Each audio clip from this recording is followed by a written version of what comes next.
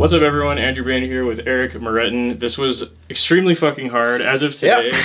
I think the album has been out for like two days, so forgive us if there's some mistakes. We, Yeah. I, I'm sure we didn't play it exactly the way they played it. It, it, it was close. There's like barely any tabs for this stuff. I don't know. And a lot of the stuff was just like, what's going on? We don't even know what's happening in half of this stuff.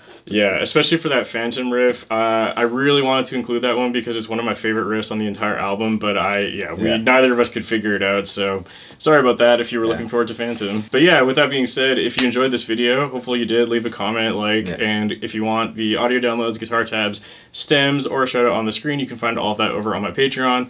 Also, of course, go give Eric a follow. He helped a lot with learning these songs.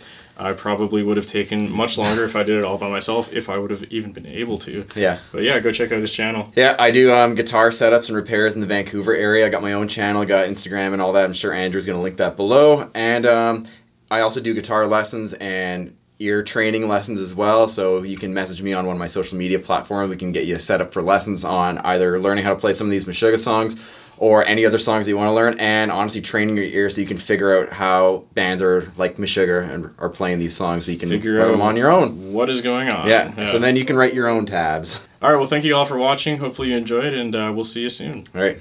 Peace.